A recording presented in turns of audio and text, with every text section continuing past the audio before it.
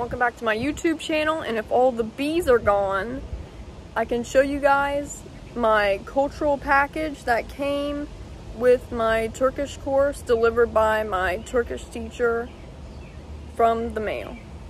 I had just gotten it the other day but I haven't had a chance to film or open it with all the Turkish that I've been doing. Five hours virtual, so 10 minutes between each course for our break and then 30 minutes in between for a break. So I have Turkish from 11 a.m. to 4.20 p.m. It's also my extended weekend and I am Monday off, so let's get into the video. This is where they sent it from in Pittsburgh, the University of Pittsburgh, the Cathedral of Learning. And my professor sent me a photo of what it looks like. I'll insert it here. This is what it looked like as a whole but I cannot show it in the video because I have to blur out the address. Sorry I look mad, it's just really sunny here and hot outside. It was a little bit open right here, so I guess I'll start and open it through this. I had already seen them briefly because she asked us what each one was in Turkish before they had arrived in our packages. So here we have this Turkish kids book and it's really cool because it's all in Turkish.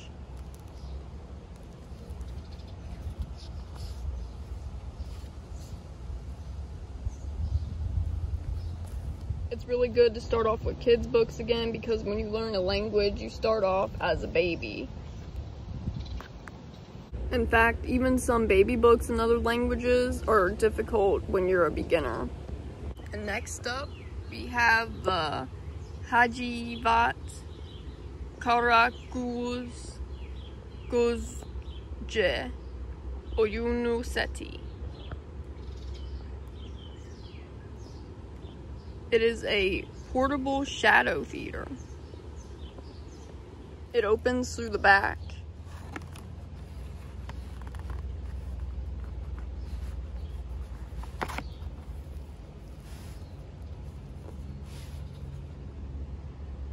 Here is the puppet stage.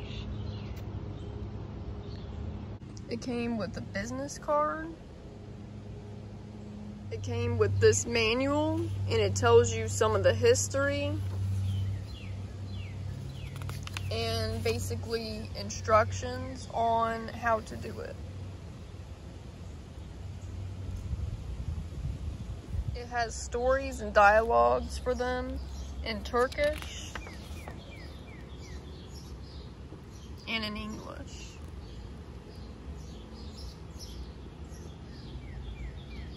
Now to the interesting part.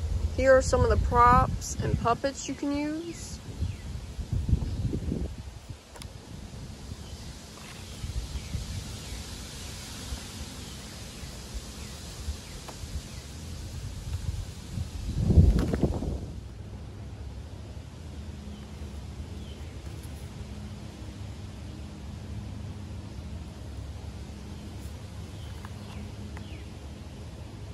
This one looks like my mom, kind of.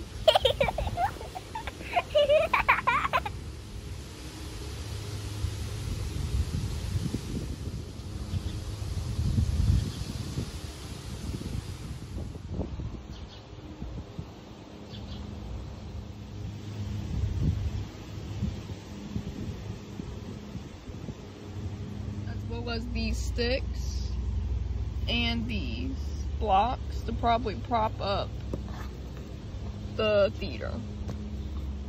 Guys, what in the world? Look how windy it is.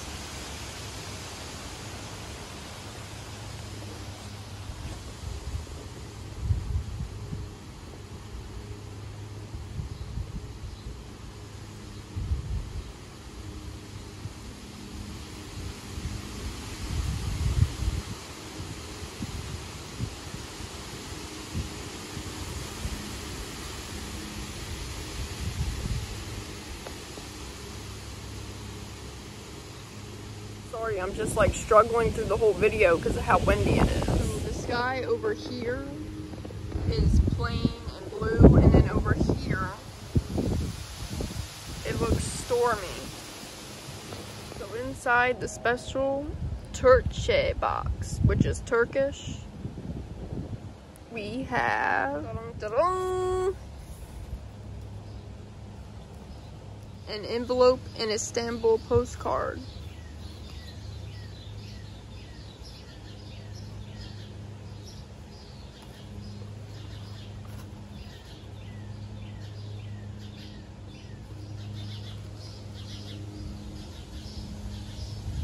We have this container that sounds like flour, sand, sugar.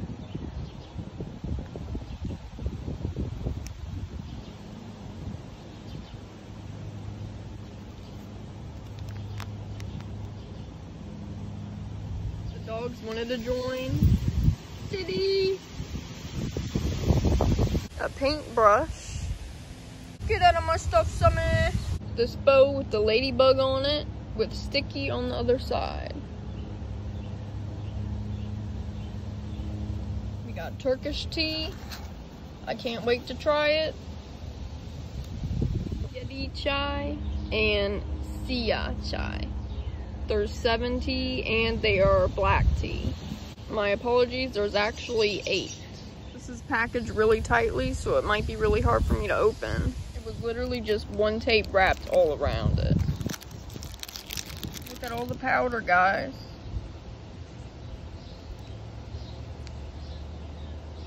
This is literally sand from Turkey. Okay, this is sand, then my professor was trying to be funny, and now I need to put it in this bowl.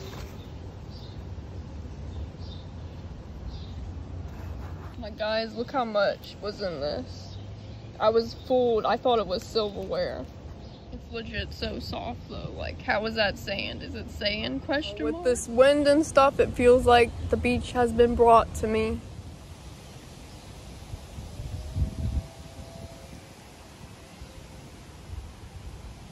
Next up, we have Turkish chocolate.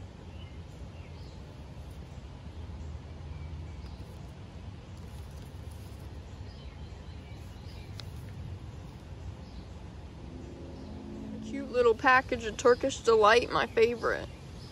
Lokum. And it's pomegranate. I don't think I've ever tried a pomegranate one before. We're getting to the stuff very unique to their culture now. I really like cool designs like that. Do not ask me what these terms are in Turkish because I honestly forgot.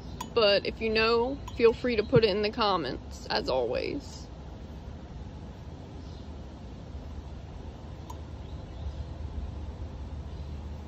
So this compartment medicine box came with paint inside, covered with saran wrap so it wouldn't leak out. A lot of these two things be messy now there's a bird that won't shut up, it's fine, but. So we got the paintbrush and now the paint. And there's still sand all over my phone.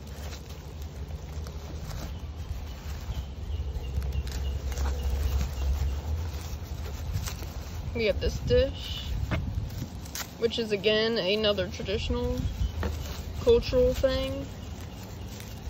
And here is a matching cup. Man, I'm just in for it today, I guess, with the wind, the bees. There's a bee that will not leave me alone. But anyways, here is the cup. For real, bee, you need to leave. This is my seat. Okay, finally I'm back, guys. So this is the cup. Goes right here.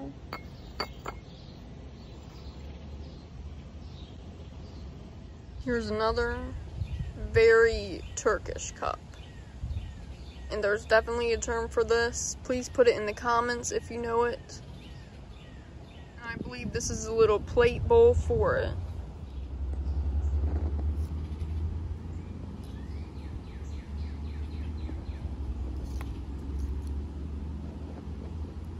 The trick question is, how do I open this? Because it's gonna get all over the place, whatever it is. This one is really, really messy.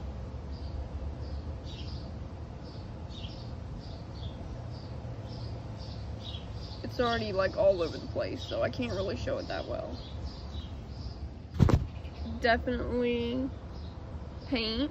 And good thing I am getting a new phone case soon. I believe I've never opened a package this interesting before.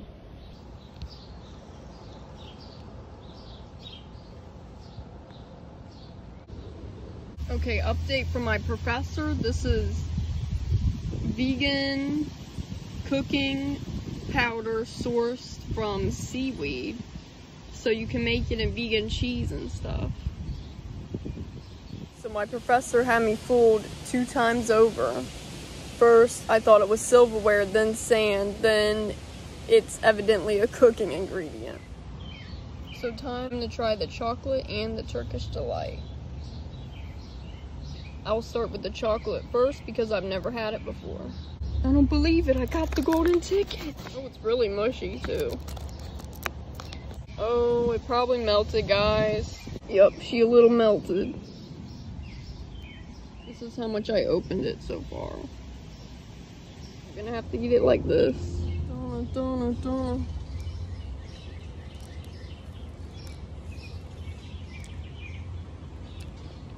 It's got like seeds in it.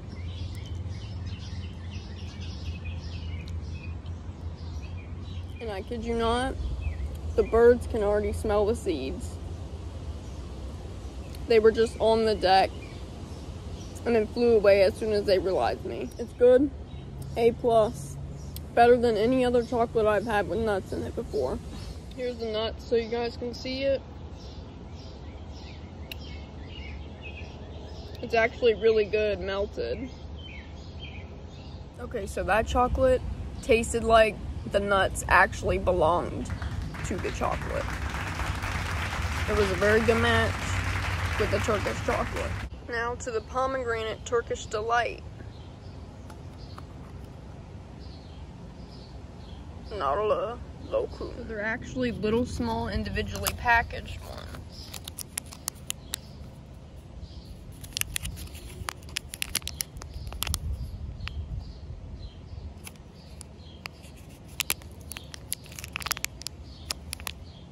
The ingredients are all in Turkish, and the first one is sugar.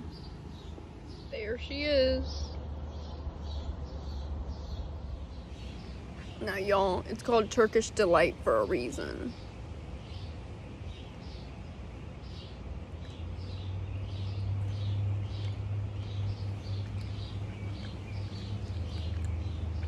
It's not bad. I was expecting it to be a lot stronger than that, but it's not bad. I was expecting the chocolate to be matcha on the inside, but that's just because of my Asian background. And it even says nut right on there. But anyways, that also brings us to the more complicated idea of cultural background and how much it changes your perception of what you think something would be. Like say, I see this green and I think matcha, well, it's actually just a nut. I looked into it more and I think this is actually Turkish coffee.